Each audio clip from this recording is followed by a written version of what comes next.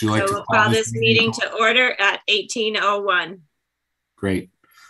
All right, thank you, everybody. So um, it looks like we have some people in the audience here or in the um, on the call. So um, I think if it pleases the board, if you agree, we should allow um, a- as it is on the agenda, um, some public participation, knowing that it's limited to three minutes per person and we have 15 minutes until we need to move on to the discussion at hand. So um, is that agreeable to the board?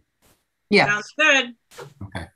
So now would be the time then. Oh, I'm sorry. You know what? First of all, just a little housekeeping. I have to make sure that we have our Board of Health Secretary on. She's not able to do, okay, she's here. I got her text, so we're good. Um, we can either do the approval of the minutes for the prior month. Do, do you want to do that now and then we'll move into public participation? Sure. sure. Mo- motion to approve. All right. Um, approved, Juanita Carnes. Margaret, Approved. you have to state your name since it's on Oh, this. approved, Margaret Duty. Approved Stan Strumko.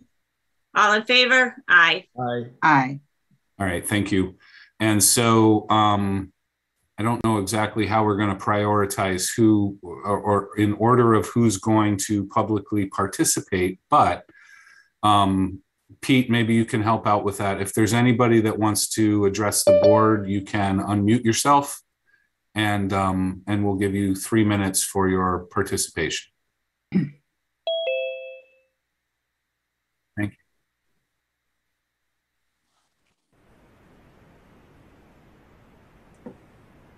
Would you like to name people? I don't, you know, see the whole list of what, um, sorry, hold on. Let me get this on here. Here we go. I don't, yeah, I don't see how many people are here, but would you guys like to select people or should we just speak up? Well, right now, you're the only one who's unmuted, so you can go ahead, list your name and address for the record, please. Alrighty. My name is Tamitha Brzezinski and I live at 399 Russellville Road. Back in September, I was at the board meeting and I had um, given a few deliverables that after the meeting, Dr. Stremko had asked that I send to the board, which I did the next day. I have not received any responses to any of them. So I would like to know, will I get a response or should I do a FOIA to get those responses? I think you deserve a response. I, I have arrived at the just think we never coordinated as a, as a board as to who was going to respond to you. So that's easy. We'll just have to talk about it and craft a response. Thank you.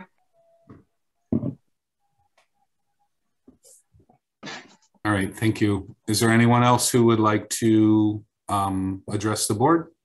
Can unmute yourself? I, I would like to speak, except I don't know if I can do it in three minutes. I could do speed reading, but nobody would understand a word of it.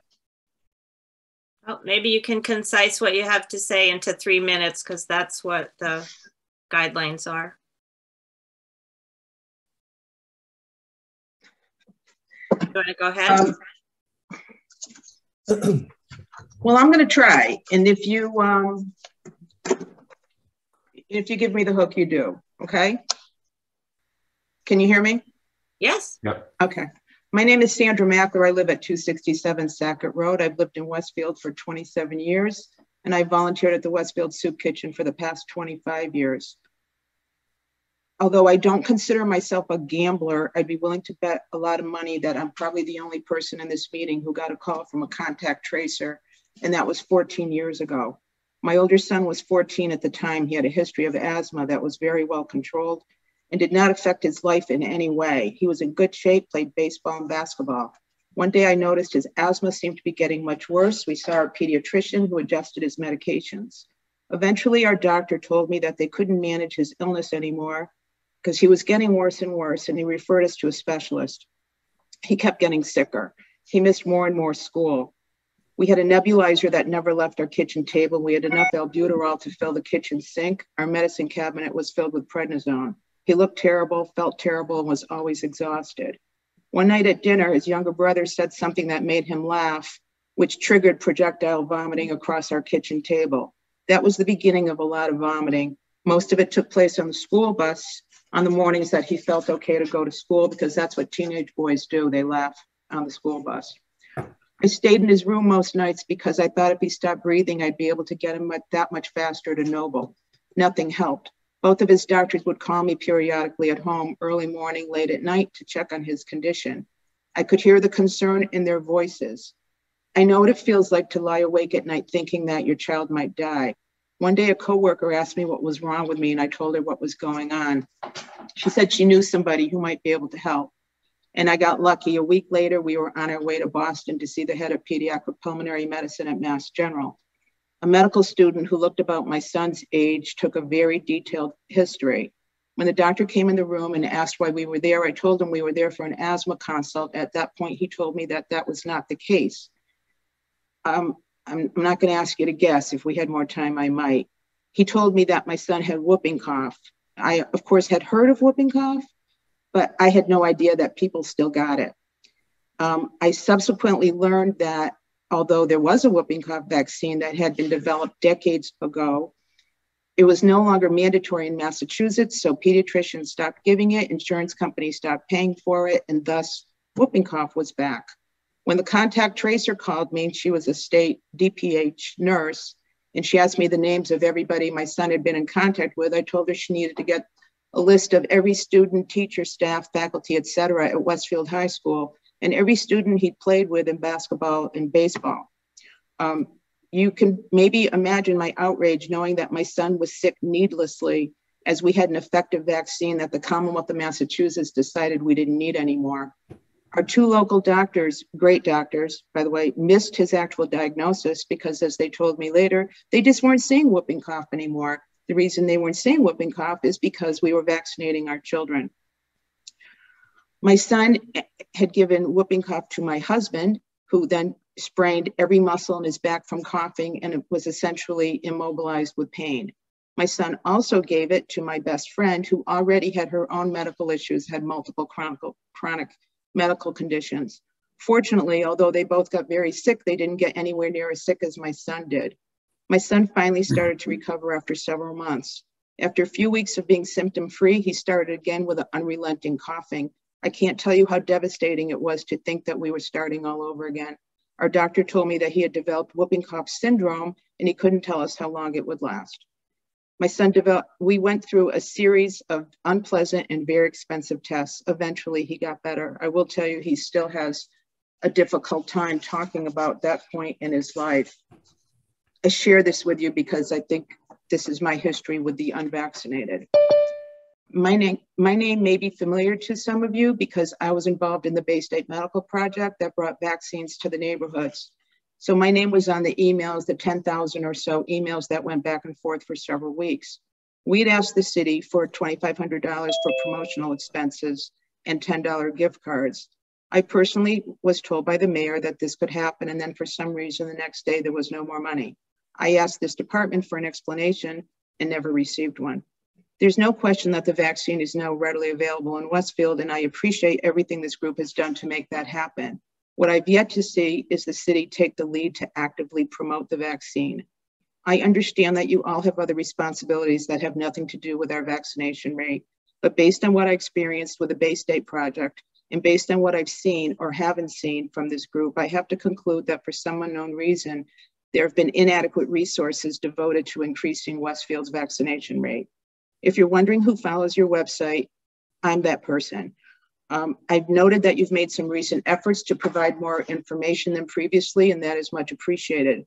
But we all know that very few people follow your website, and chances are the ones who follow it are people like me, who was on my laptop in the middle of the night when the vaccine first became available, trying to get appointments for myself and my husband. I've also read your occasional articles in the local paper, but I know, like I'm sure you all do, that young people don't read newspapers. I have to believe that you all agree that Westfield's vaccination rate is not acceptable and that we can do better. Like I said earlier, I volunteered at the Westfield Soup Kitchen for 25 years. We are now approaching our second winter handing out brown bags on the sidewalk, and I can tell you that it's gotten really old. To say that it is not the same is a huge understatement. Our volunteers and the folks who come for dinner no longer spend time in a warm, safe space or an air conditioned space in the summer. We no longer have the opportunity to share community resources, bring in guest speakers, and just check in on each other. Our sense of community is gone. Some of the folks I've known for years have dis- disappeared. Some have died of COVID. Everyone wants to go back to the way it used to be, and none of us see an end in sight. Maybe if we saw a significant rise in our vaccination rate in Westfield, we could open our doors again. I don't think it's enough to provide access to the vaccine. We need to let our residents know that the city of Westfield wants us to wear masks when indoors and wear them properly, and that everyone eligible for the vaccine should get the vaccine. We need to get the word out that people are still getting sick, people are still dying, and young people can die too. People need to hear that the longer we have the virus here, the longer we're going to have the virus here. I believe that you have more potential Sandra, influence. Sandra? Yes.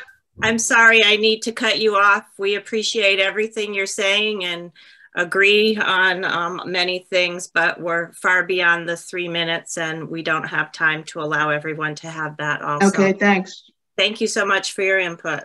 Thank you. Thank you. Next, Anyone else that wants to address the board, you can unmute yourself and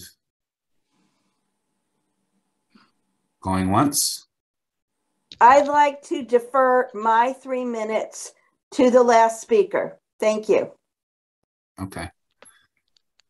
And I don't even know her. well, thank you. That was thoughtful, but we already let her go far beyond her three minutes. So, and that's not a policy that we practice. Anyone else? Yes, um, my name is Gabriella Mihalician. I would like to talk about um, some other early treatment and prevention alternatives that could be looked into. Um,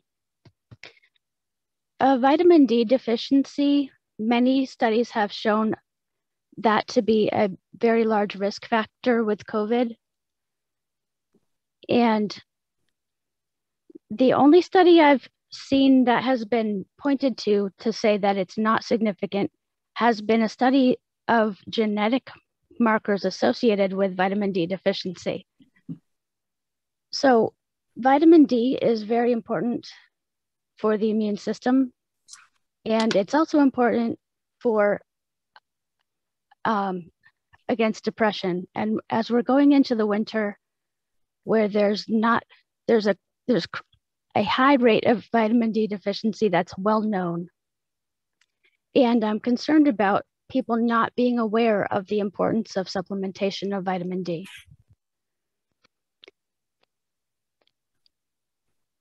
And I would love to see that being brought to people's attention. Um, the other piece of that is it's more important in Westfield than it is in other places because there have been studies that show that with high PFAS levels, vitamin D does not get absorbed as much as with normal PFAS levels or zero. Um, so that may be a factor in um, the COVID illness in Westfield that brings the vitamin D to a higher importance than other places. Um, another thing that I wanted to mention is that doctors are not allowing patients to be seen in person if they have a cough. And I don't know if you have any um, input in what they do, but the my friend couldn't bring her daughter who has asthma in to see the doctor because they wouldn't see her because she had a cough. And that was, this is actually today. And she couldn't, she would have had to sit in the waiting room, I mean, in the parking lot of an urgent care for three hours because it was totally full.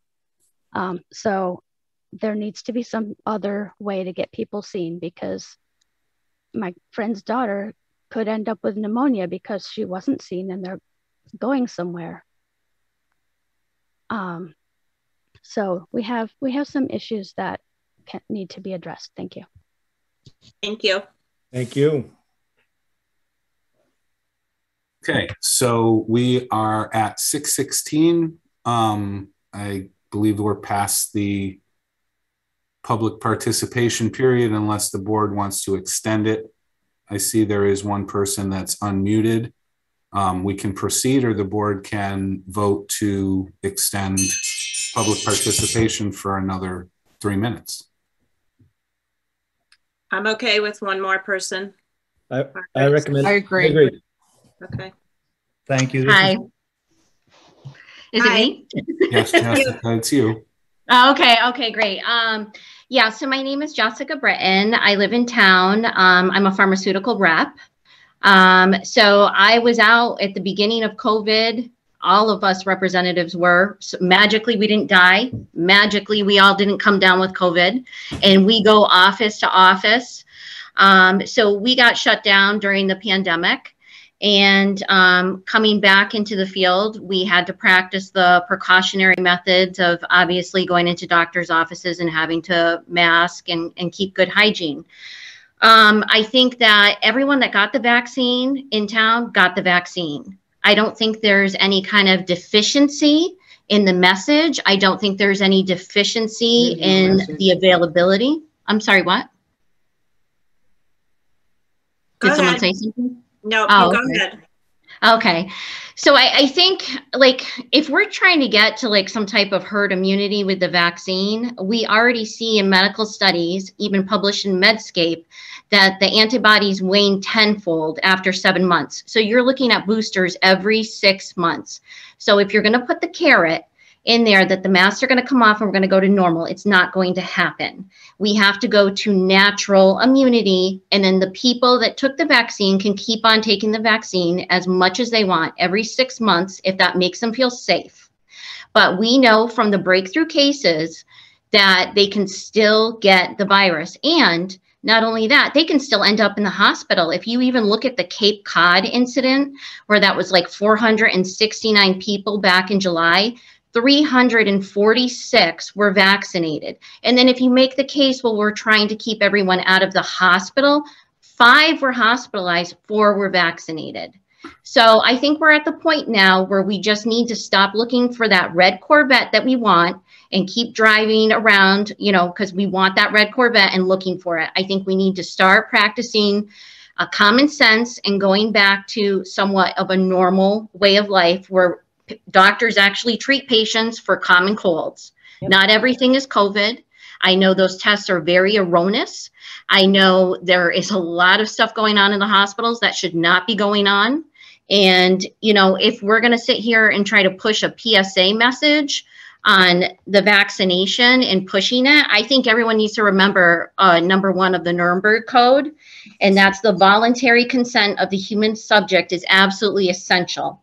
This means that the person involved should have legal capacity to give consent and should be so situated as to be able to exercise free power of choice without any intervention of any element of force, fraud, deceit, duress, overreaching, or other ulterior form of constraint or coercion. Coercion. I want you guys to think about that. And you should have sufficient knowledge and comprehension of the elements of the subject matter involved as to enable him to make an understanding and enlightened decision. That is Thank you, clear. Jessica. Mhm. Your You three made your minutes is up. point. Thank you. Okay. Am I allowed to speak? Who's that? This is Ralph Thresher, 163 Elizabeth Avenue. Did you just join in? No, I've been here. I, I've I had unmuted, but Jessica beat me. All right, I'm okay with three more minutes and then that's it. We need to get on with our meeting. Thank you. Uh, what I wanted to speak about, because I had noticed the people before had, uh, were pro-vaccine. That's all fine and wonderful. Jessica brought up a valid point. I just want to make sure everybody's aware of the Vaccine Adverse Event Reporting System known as VAERS.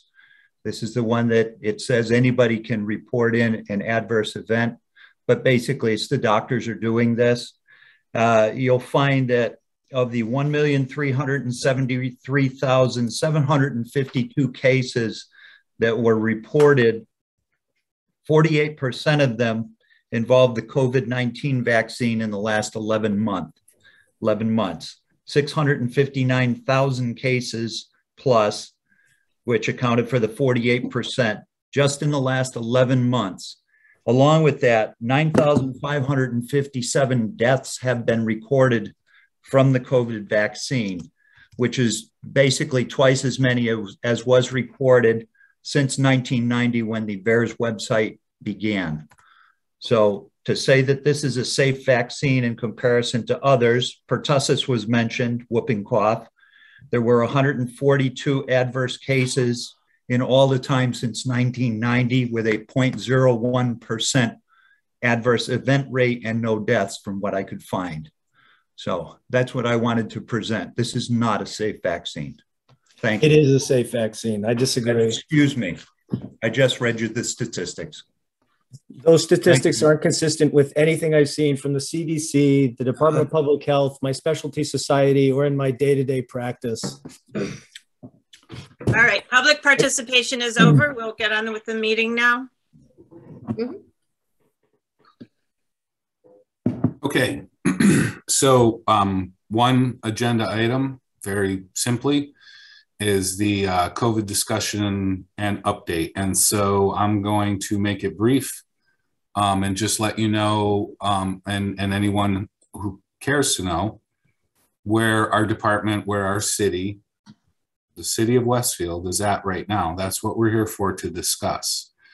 First of all, I'll preface it by saying that the reason why we're remote tonight and I have been asked that question, why are we not meeting in person?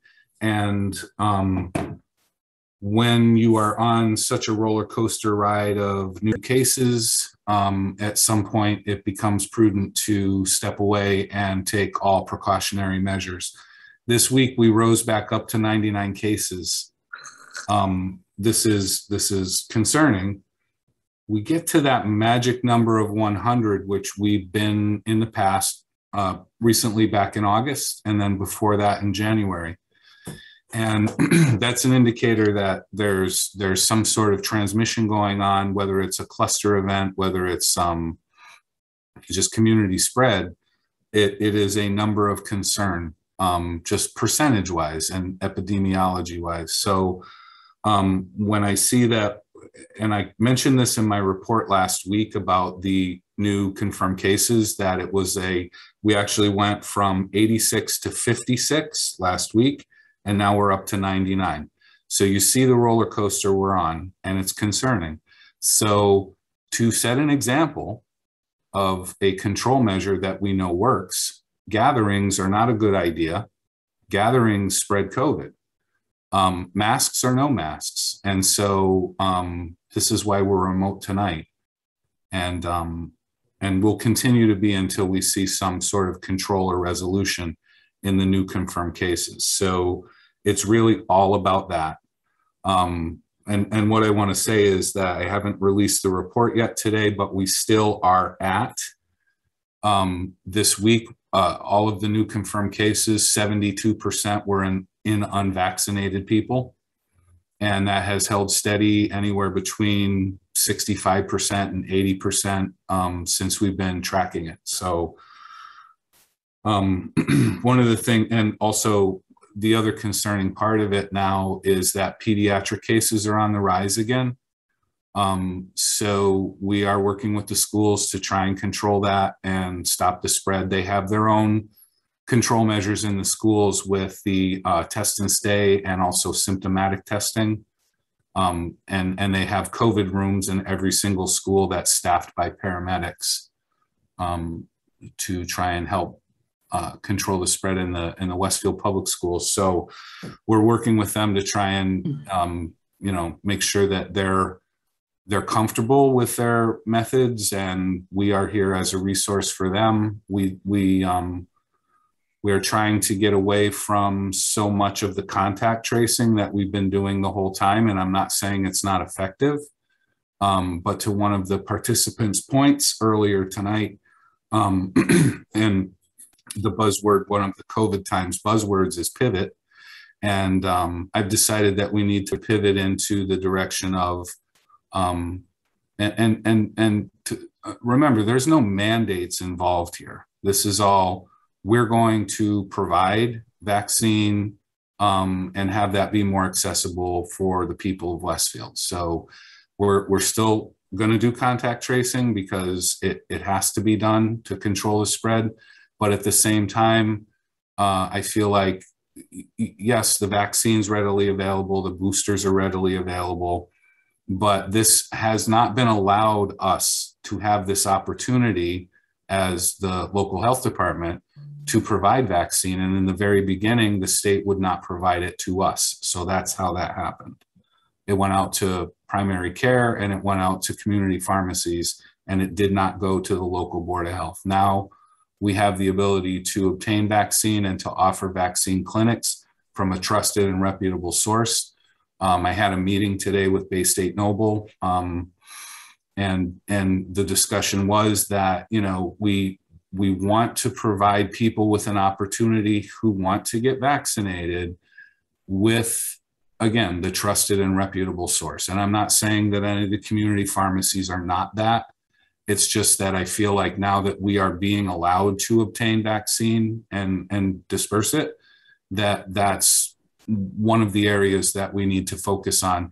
And it's not that in the past we haven't had the resources, it's the fact that we have not been allowed to um, be provided with the vaccine. So we, we have a lot of people um, in this department that have trained for um, you know this type of scenario for a long time and and we're ready to we're ready to do that so so it's a little shift of focus in the sense that, you know, contact tracing needs to still be there. We still have the state contact tracing collaborative that's still viable. And, um, and we will let them take some of them so we can extract um, our nurses to focus on vaccine. And, and, and quite honestly, um, just the models that we see, the, the, the, the science behind it, the the vaccine's the only thing that's going to get us out of this. It's just it's there's just no question about it. Unless you want to go back to mat- mandates for other control measures, if you want to go back to mandates for masks, if you want to go back to mandates for limited gatherings, if you want to go back to mandates for social distancing, then we can do that. We know that works. That all of those things work together. It's a symbiotic relationship masks, social distancing, limited gatherings, personal hygiene. Those are all the things that got us down when we flattened the curve before we even had a vaccine. Now we have a vaccine. We're not faring any better than we were before that. In fact, you could argue that it's worse because if we didn't have a vaccine, that number this week that I'm looking at that's 99 could be 199. So mm-hmm. that's where we're going to go with it. And and nobody wants mandates. Nobody wants you know to go back to where we were of limits and and limiting gatherings and and you know everybody wants to go business as usual. That's fine. But then our role clearly needs to be to provide people with a trusted reputable source with we'll, we'll punch our city of westfield name all over that. And Baystate Noble is also willing to do that so the, the you know this is this is where we need to unveil a new plan and that's the direction i'd like to go. How is our vaccine rate this week? So interesting uh, dynamic that happened. Never thought mathematically that this could happen but our vaccine our vaccination rate went down this week. So that How was kind that of happen? It was kind of a little a little bit jarring when I came in this morning and I looked at that. And so what happened was is ever so they based the vaccination rate on eligible population. So ever since they made the 5 to 11 year olds eligible to be vaccinated, it increased the pool of candidates. And since the 5 to 11 year olds cannot by Uh. time be fully vaccinated, um, the, the, the pool of, of candidates grew. The, um, the lack of fully immunized people in that pool decreased because they cannot be vac- fully vaccinated yet. There hasn't been enough time. So we went from 54 or 55% down to 50%, Ugh. um, which is, you know, you can talk about herd immunity all you want. It, it this is not the, the, the thing that we need to do is we need to increase that rate. And in Western Mass and surrounding communities that I keep track of that are comparable being Chicopee, Holyoke, West Springfield, and Westfield, we're still lower than all of those other communities. So we can do better than that. And the city is going to make a concerted effort to offer that to be more convenient um, and and maybe more more trusted. I don't I don't for lack of a better term, I don't know what else to say, but we need to immerse ourselves in that now. Joe, do you have dates yet or places where these clinics are going to be? No, this um it, actually we we planned on kind of um assembling to get this done last week, but we had to put some fires out in the school department and um we need to to kind of steer them in a direction where they're gonna have to rely less on us so that we can be free to go and and do this program. So I don't have a date yet, um, but it's not it's not going to be um it's not going to be long. I mean, we we're we've done this for years and years with flu clinics. We've assembled. Um, one of the things that I would ask is that at some point, and Juanita, you did this at one of our flu clinics, and you were a physical presence on the site to answer questions and concerns from residents about that, um, the process, the vaccine, whatever their questions would be. And we have offers from Baystate Noble for um, Dr. Shukla and you know others to be present. Stan, if you wanted to to be just there, um, and it's not a it's not a full you know all day commitment or anything. It's a couple hours that Mhm. I I think it goes a long way when when you say. And I'm not really again. I'll reiterate. I'm not taking anything away from the corporate entities, the community pharmacies. They're doing a fine job. They've they've helped us out a lot. We weren't able to do our flu clinics this year, and Stop and Shop uh, they stepped in and, and they did all our seniors at the senior center because we weren't able to mobilize that. So great kudos to them. But I think that, uh, again, if they're, and you have to remember, we know what we know, and some people just don't know what they don't know. And I think the hesitancy needs to be addressed in the sense that, you know, we're banging our head against the wall over here because we know the science and we're we're engrossed in this business, and this is what we do every day. Um, but if there is hesitancy, and if it's as simple as I don't want to go to a place where I don't know who these people are, I don't know who the person is that's going to put the shot in my arm at one of the community pharmacies, and I want it done. And if you don't have, I don't know, maybe you don't have a, a primary care person, maybe you just don't want to go there, whatever the reason is. We, there, there, there's some just huge disparity, and and so at least we'll try this, and we'll see if that makes a difference. And, and other communities are doing the same. We're not going to abandon contact tracing. Um, we need to still continue to do that, although there is word that the state contact tracing collaborative is going to disband at the end of this month, which is extremely concerning. Um, so, you know, we might try and bring in more resources to supplement that. Uh, but I'm I'm fingers crossed that the governor is going to allow that program to continue and and fund it so that we can at least get through the winter and um and hopefully we'll see some better light in the in the springtime. Um, so you know the numbers are what they are. Everything's out there. We know the science. This needs to stop, and we are at such. If the general public feels like they're done with COVID, they don't want to talk about it. They don't want to hear about it. They don't want to deal about it, deal with it. Just imagine what we feel like. This is so unbelievably mentally, physically, and emotionally draining every single day that I need to to prevent any more attrition from the department. I need to make sure that we start moving in a direction with a solution rather than just you know a treatment. So that's what I have to say. Any questions from the board? Um, Joe, was, I know we talked before about there was going to be a mobile unit for, I mean, is it for vaccines? Any news There on is. that? Yeah, they're um the state is doing their kind of tour of the Commonwealth. They have a max mass vax bus is what they call it. Okay. But also I just heard today from Baystate that they also have a mobile unit.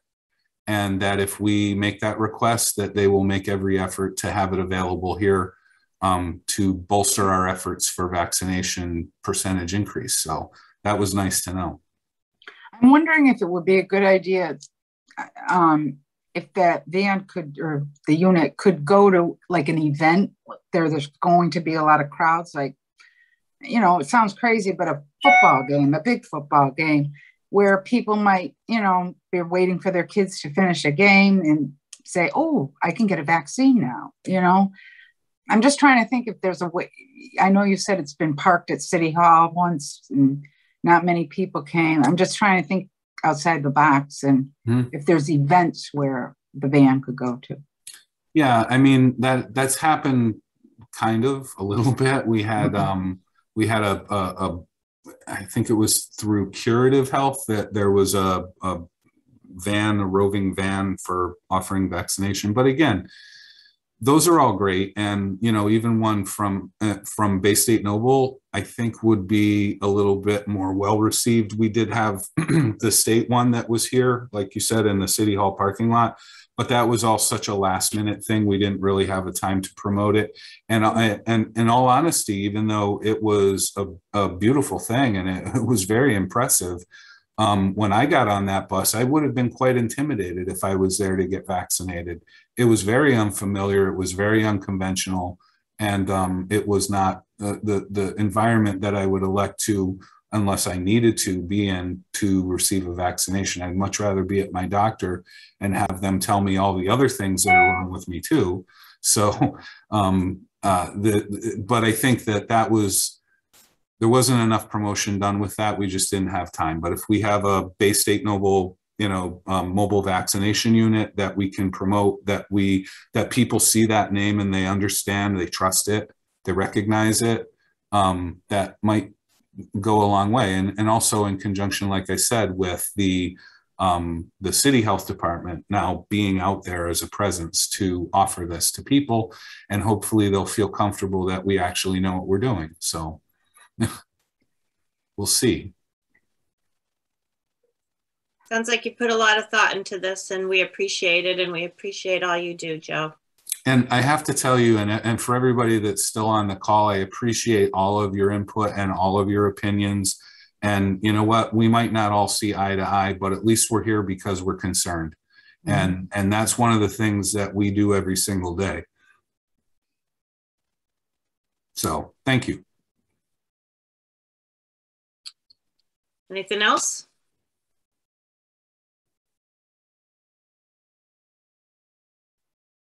Oh, no, I'm sorry. I didn't know if you were talking to me or somebody else.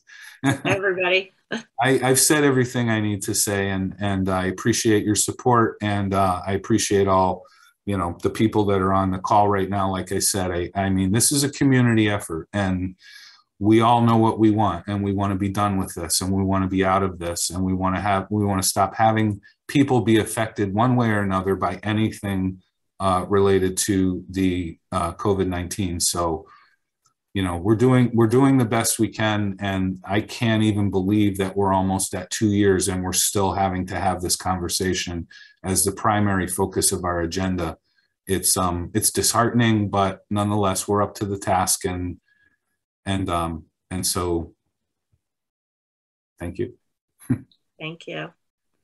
Margaret, Stan, you all set? Yeah, Yeah, I make yeah. mo- I appreciate the update, Joe. All right.